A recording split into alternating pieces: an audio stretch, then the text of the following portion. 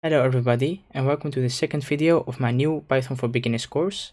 In this video we're going to continue where we left off in the last video and we're going to go into some more detail. We'll be covering things like the print function, variables and data types.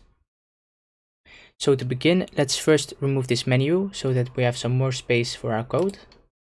Uh, and let's run this program again. The output is a hello world so how do we get this output? Well, that's because of this print function. The print function is just a built-in function in Python that writes code to the screen.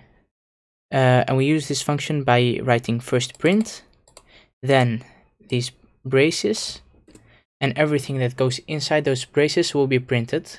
Uh, and, is, and in this case, it's going to be some text or a string. Uh, and a string uh, you can recognize that by either double quotes or single quotes. So single quotes look like this, and then the actual te uh, text that you want to print. And in this case, hello world. Now we can have multiple print functions. So let's make a second one, type print, then again braces, uh, and then the text inside of double quotes or single quotes that you want to print. So hello world, my name is devshell. Now let's run this again. And you'll see hello world, my name is devshell. Okay, so now let's get into variables. So what are variables? A variable is just a piece of code that you use to store data.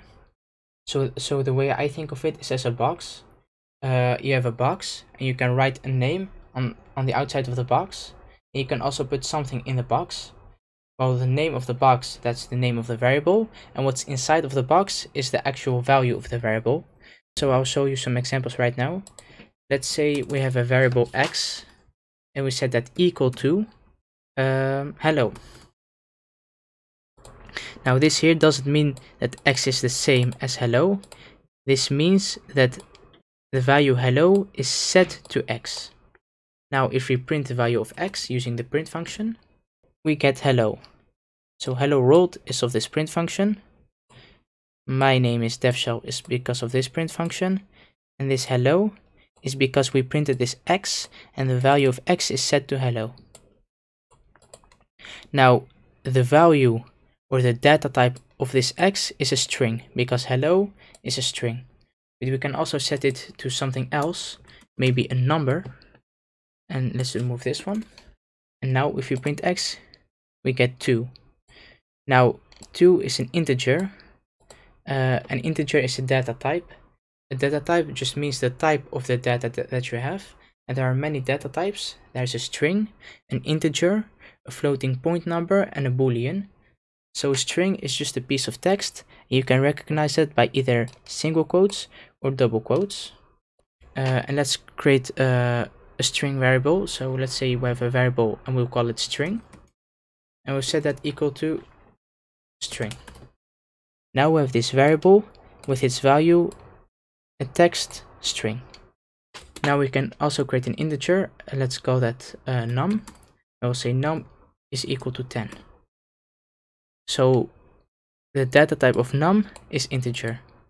Or we can create a floating point number. Uh, let's call that floating. Floating equals 0 0.5. So the difference between integer and floating point number is that integer is a whole number uh, and a floating point number can have decimal. Uh, so something like 10.0 is also a floating point number. Now at last we have uh, a boolean data type and a boolean can ha have two values, true or false. So uh, let's set this to true. And now if you print all of this, string, print string, print num, print floating, print boolean. Uh, and let's remove these first two.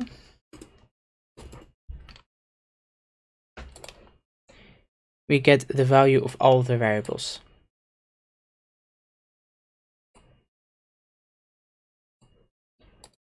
I also want you to notice something. Uh, when we just print some text with the print function, we use these quotes.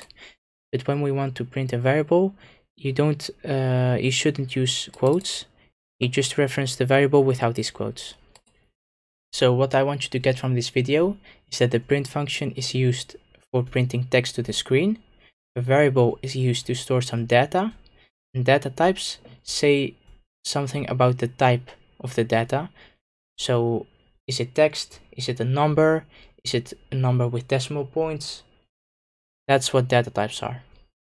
So I hope you learned something from this video. If you like this video, hit that like button and please subscribe to, to help the channel grow. And I'll hopefully see you in the next video. Bye!